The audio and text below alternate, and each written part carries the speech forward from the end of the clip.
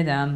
E, kaže e, jedan pamflet, e, da li još verujete pričama sindikalnih funkcionera ili više verujete svom praznom novčaniku, da li verujete da ćete dočekati penziju od koje će moći normalno da se živi, hoćete li moći da se lečite ako zatreba, da li ćete moći da školujete svoju decu? I da li se osjećate zaštićeni zakonom o radu i kolektivnim ugovorima i njihovim sprovođenjem od strane sudova i inspekcija. E, na ovih pet pitanja pokušat će da nam odgovori predsednik okružnog odbora i član izvršnog odbora sindikata Solidarnost, Petar Lončar. Dobro veče i dobrodošli. Dobro veče i vama i vašim Šta kažete na ovaj test sindikalne inteligencije? Pa, ovaj test sindikalne e, ovaj, inteligencije pokazuje e, otprilike gde smo, e, kakva je naša budućnost i šta građani, to jest radnička klasa, očekuje od sindikata. Mislim da su do sada u Srbiji sindikati pokazali potpuno nejedinstvo i da zato se danas nalazimo tu gde jesmo i gde je preko milion radnika na ulici, jer su postojeći takozvani reprezentativni sindikati ovaj, izuzetno dobro se ugrađivali sa predstojećim vladama koje su do sada bile republičkim i dobro su trgovali. Mhm. Jer da nisu dobro trgovali, mi bi danas verovatno razgovarali o jednom boljem konceptu zakona o radu, a ovaj zakon o radu, predloženi nacrt zakona o radu, je ovaj, propao samo iz tog razloga što takozvani reprezentativni sindikat jedan i drugi, a to znači samostalni sindikat Srbije koji predvodi Ljubomir Orbović, najveći trgovac u Srbiji, i gospodin Branko Čanak koji je rekao da radnici bolje i ne zaslužuju još 2010. godine 1. maja i zato nije izveo radnike na ulice, jer u stvari on je dobio određen novac da to ne uradi od tadašnje vlade Republike Srbije i to svi znaju. Čak i bivši predsjednik Samostalnog sekata Srbije je ovaj, u jednoj emisiji ga je gospođa Kovačević na RTS-u prozvala da je prodavao robne kuće Beograd. U takvom stanju uništen je sindikalni pokret i zaštita radnika je potpuno onemoćala, što znači da su radnici prepušteni bili sami sebi i pošto smo mi ušli u ovakav tranzicioni period, snalazio se ko zna i kako ume. 2006. godine sindikat Solidarnost je osnovat upravo da bi pokazao da postoji drugačiji sindikat. Od postojećih sindikata i smogli smo snage, vere, hrabrosti. Ja još jednom podlačim, u ovoj zemlji je potreban zakon protiv straha. Kako od samoga sistema, tako i zakon protiv straha za radnike u privredi, u zapošljavanju. Svi se boje svojih poslodavaca. Da li je poslodavac u ovom slučaju privatnik ili je poslodavac državni organ, Potpuno je svejedno. Svi se boje političkih moćnika. Mi danas imamo, Stalin je imao jednog Beriju, a mi u svakom gradu imamo po jednog Beriju. To je bio veliki šef policije kod Staljina dosta poznat. Dobro, da, da se mi usredsedimo na današnji Dobro. štrajk upozorenja e, reprezentativnih e, sindikata. Oni su, naime, danas između 11 i 12 časova pročitali proglas E, gde je tu sindikat Solidarnost e, i kako ste vi na koji način e, obeležili i da li ste obeležili štrajk upozorenja? Evo, prosto kratko, mi apelujemo odavno da ovaj zakon, predloženi nacrt o radu, nije dobar za radničku klasu, a dobrim delom nije dobar ni za poslodavce. Gde nije dobar za poslodavce? Pa ne može poslodavac da isplati otpremninu nekom koji je juče došao iz neke firme unazad. Znate, nikad vi nećete nikoga u vašu kuću primiti ukoliko bi bio takav zakon. Zakon treba da je jasan i obavezujući kako za poslodavca, tako i za radnika. Šta su njegova prava, šta su dužnosti, šta su gosti. Postojići zakon o radu je sjajan. Iz jednog uh, gledišta, za radnika. Tačka 12 postojići zakon o radu kaže zakon predviđa da radnik mora da dobija adekvatnu zaradu za svoju platu, a tačka 16 lepo kaže da je poslodavac dužan da isplati radniku platu. Slažem se sa gospodinom ministrom Radulovićem u tome da je rekao uzalud nam svaki zakon koji god da donesemo ukoliko se on ne poštuje. Ovde je evidentno da nema poštovanja od strane ni sudova. Mi smo vodili nekoliko sporova, naša predsjednica sindikata, gospođa Gordana Kojić, je vodila, pošto je ona u Petru Drapšinu radila u Novom Sadu i danas su otišli u agenciju za privatizaciju, upravo zbog tog pitanja šta će biti sa Petrom Drapšinom. Ona je izbačena i čak su sudovi presudili u korist samoga toga e, poslodavca, to je države, u korist njih, e, to je da je ona povedila zakon o štrajku. A ovde lepo kaže da je ona sprovedena u skladu sa zakonom o štrajku, znači i sindikalnom organizovanju i oni su izbačeni iz firme. Toliko o zaštite radnika. A u Novom Sadu je samostani sindikat imao svoga predsednika, koji je danas, e, koliko je dobar ovaj savjetnik gospodinu Pajtiću. To govori samo o tome kolika je sprega bivših e, vlasti, sadašnjih vlasti i svih budućih vlasti sa, sa ovim sindikatima takozvanim reprezentativnim. U čemu im se ogleda reprezentativnost? U dobroj trgovini, prodaju radničke klase, svu imovinu su uzurpirali.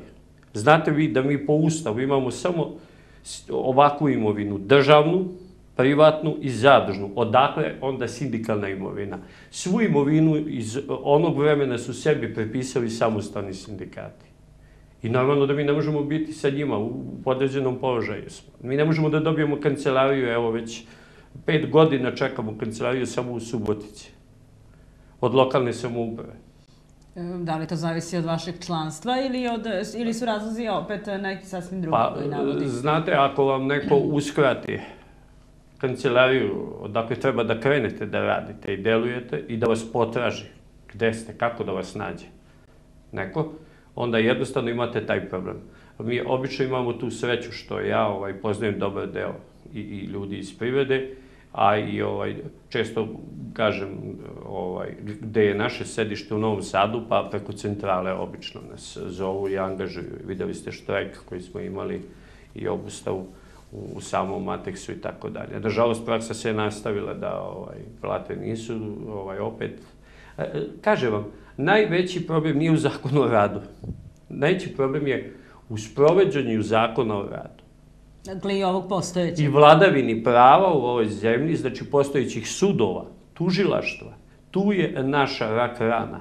Niko nas ne štiti. Pogledajte zakon o mobingu. Od 87 predmeta, do sada su svega dva procesuirana i jedan je u suboti. Dakle, vi se onda svakako nećete složiti. Meni je pre e, nedelju dana gost u studiju bio i Milan Popović e, ispred Saveza samostalnih sindikata u našem gradu i rekao da bi on voleo da na neki način se kod nas e, samo prepiše i usvoji nemački zakon o radu. E, vi mislite da je i ovaj dovoljno dobar i da po tom pitanju ne treba ništa da se uradi? Po ovom pitanju, ovakav zakon kakav je bio predložen, e, nažalost, znate gde je pravljen ovaj nacet zakona? Radna grupa koja ga je pravila od strane Ministarstva za rad i socijalnu politiku u Aranđevacu u jednom hotelu, pa su prikazali. Mislite na ovaj koji je sad odbor? Da, pre, predstojeći. Dobro, ja kažem za ovaj koji je sad postojeći. Ovaj je poništen, to je džakuzi zakon. Tako smo ga nazvali, jer je sve bilo u džakuziju. Jeste, to je tako bilo i na jednoj velikoj nacionalnoj televiziji prikazano kako se oni brčkaju, stvar njima nije ni stalo do zakona bilo o radu. I ministar Radulović, nažalost, koliko god ima moju podršku ovaj, i našu podršku, da istraje u onim stvarima koje je radio prethodni ministar ispred njega, gospodin Dinkić, zato što on ovaj, je puno toga ovaj, doprineo da ovako stanje bude u privredi. Danas Srbije je u stvari uništena je privreda, uništena je regionalizacija razvoja ruralnog, sela su postala pusta. Omladina je otišla u velike centre i gradove i ne vraća se, mi, e, znači nama sledi upravo ono što, što se zove kraj sela, Srbije i mi ćemo na kraju doživeti da će samo postojati veliki centri. A priča svakodnevna naših e, funkcionera, političara se svodi na to, e, zalažemo se, zalažemo se, ali ništa nisu preduzeli. To su samo prazne priče i foskule. Predlažem Prvenstveno je dobro što je ovakav nacrt zakona povučen i to je dobro za sve nas, ali u ovakvom haosu kako je sada u zemlji, gde je zaista opet se pokazalo da je nemoć vladavine prava ogromna, da neki centri moći i dalje su jaki, van jeli, parlamenta, van institucija sistema, to se sada očigledno i vidi. Mi smo se borili protiv tih centara, jedan od takvih je upravo jeli, bio i gospodin Mišković. Videli ste da je sam uzeo pasoš, dobio u sudu, otišao, vratio se iz Londona, čovek popio kafu u Londonu i time je pokazao kolika je nemoć države. Prema, nje, prema ovaj, sebi država nije odgovorna. Znači, ne radi se tu o njemu, nego je to njemu dozvoljno. Pogotovo veliku borbu smo vodili sa gospodinom koji je sada ovaj, procesuiran, to je ovaj, gospodin predsjednik futbolskog kluba Partizana, gospodin Dragan Đurić. Novosadski novitet iz Ekstra su njegovi. Većina naših ovaj, članova je u, u tim firmama i ovaj, nažalost ukazivali smo na to godinama, ukazivali, borili se u Novom Sadu svakodnevno, izlazovi, blokirali ulice i žandarme su nam slali žandarmeriju i tako dalje. Znači, to govori kakav je ovaj naš sindikat za razliku od ovih sindikata koji su samo čutali i trgovali dobro sa, sa, ovaj, u, u tranziciji i privatizacijama. Znači, da. sa njima nemamo nikakve ovaj, dogovore, ni razgovore, niti će ih biti u buduće dok se oni ne promenu i ne reformišu. I dok pa ne vrate da... svu, svu imovinu, dok ne vrate ovaj, državi, to jest da država to stavi u javnu svojinu, a da u stvari javna svojina se ovaj, pretvori u fond PIO Srbije, s time da momentalno podnese ostavku predsjednik upravnog odbora Fonda PIO Srbije, Ljubisav Orbović, koji je i predsjednik samostalnog sindikata Srbije. Nespojivo je da on bude, ovaj, zamislite da budem ja predsjednik upravnog odbora najmoćnijeg vladinog preduzeća, a to je Fond PIO, i, i da budem predsjednik samostalnog sindikata Srbije, da kritikujem vladu, pa to ne ide. Znači, on ima tamo jako lepe novce. I njemu da, nije do radnika kako, ni stalo. Ja vidim, ali verujem i da mnogi naši gledalci tako vide sindikate kao zaštitnike građana u pravom smislu kada je pogotovo radno pravo u pitanju i e, kada je u pitanju zakon e, o radu, da li aktuelni onaj koji tek treba da se donese. E, tu ima dosta razmimo ilaženja mišljenja, uglavnom se tu podržavaju Save samostalnih sindikata i sindikat nezavisnost. Manji sindikati, kojih svakako ima, su u svemu ovome, pa i ovom predlogu zakona novog o radu, to jest o izmeni ili o novom zakonu, kako i neko zove, pošto kažu da je totalno izmenjen, nisu se složili sa time. E, da li ste vi gledali pre svega interes građana ili interes e, vas e, kao malog sindikata, ako tako mogu da kažem, u odnosu na ove druge veće? Da kažete da nećemo podržati iz tog i tog razloga, ali svakako pa. ne možete da kažete da je ovaj zakon, predlog za, o zakonu dobar.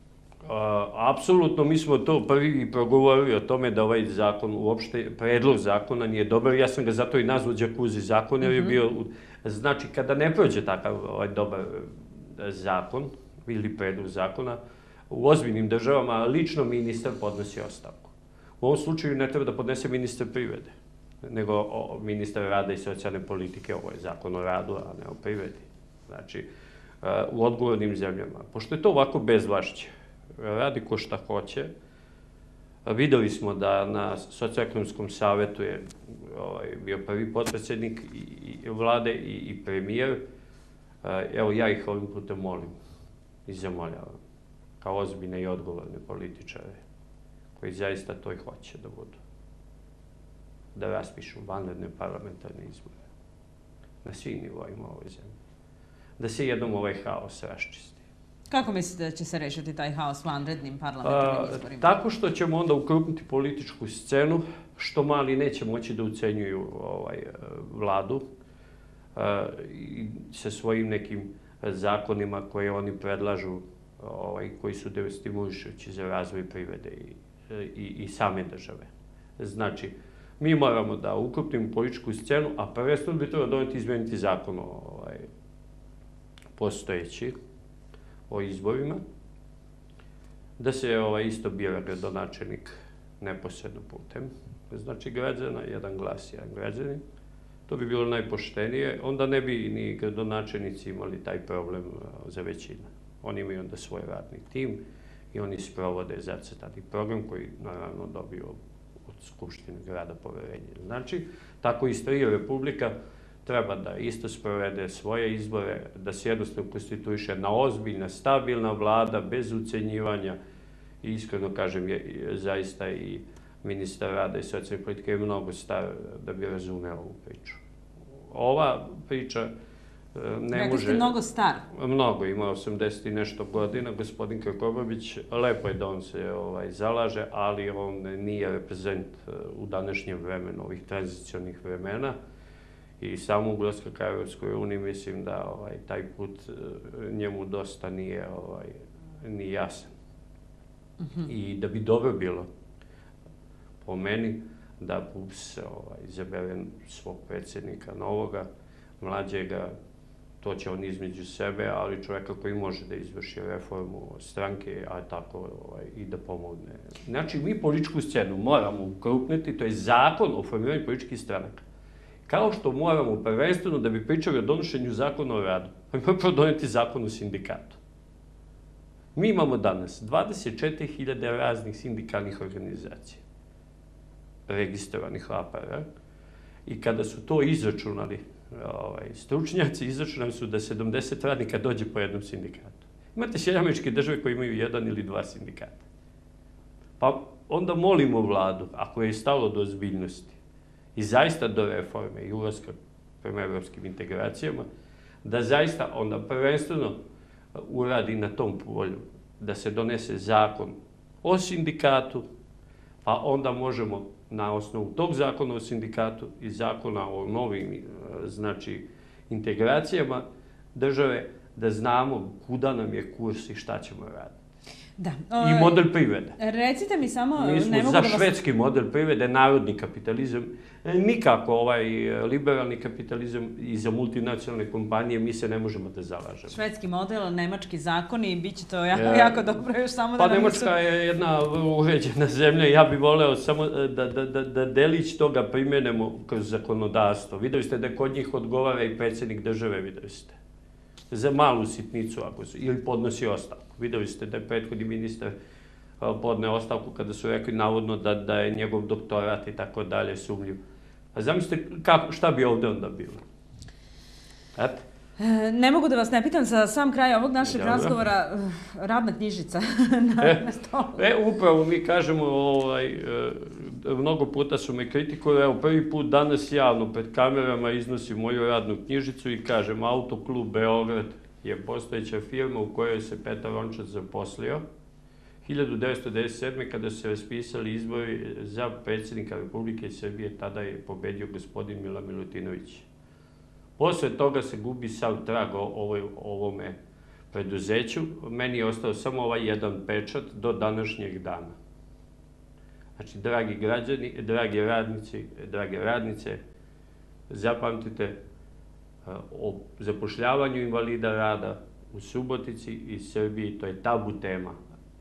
Mnoge firme i javna preduzeća su plaćale enormne kazne ali nisu hteli da plate, ovaj, nisu hteli da zaposle invalida ni jednog rada ili u malom broju. Nigde u javnim preduzećima jako je teško da ćete videti da je zapošljen, imate različite kategorije invalida rada. Znači, ja sam se dan, evo, e, da pokažem i ovo moje rešenje koje sam čekao, koje je izdato 1987. godine, dobio, zahvaljujući direktoru Dušanu Torbici tržište rada, neki dan i dobio sam taj status zvanično, ovaj, da je potvrđen moj status od komisije tadašnje, e, trajno rešenje da, da pripadam kategoriji invalida rada zbog oštećenog vida koji je preko 50% oštećen. I do današnjeg dana e, se provlači ta priča kako ovaj, neće da rade ovaj, radnici e, koji su s umanjenom radnom sposobnosti. Evo puta ja apelujem na sve organe, i lokalnu samoupravu i sve javno preduzeća, njih ne kači ovaj novi zakon, da zaista smognu snage i sam gradonačelnik i da pozove ovaj, određene kategorije invalida i da vidimo šta oni mogu da rade i gde da se zaposle u javnim preduzećima. Svakako tema o kojoj ćemo još e, razgovarati i nezavisne Dobro. od e, sindikata. E, ja vam se zahvaljujem što ste večeras bili moj gost. Još jednom hvala vama i želim još jednom sve najlepše ovaj, u novoj ovaj, 2014. godini, zdravu pre svega godinu i da bude što više zapošljavanja, ali tako da radnici mogu da žive od svoga rada i da hrane svoje porodice. Hvala vam još jednom.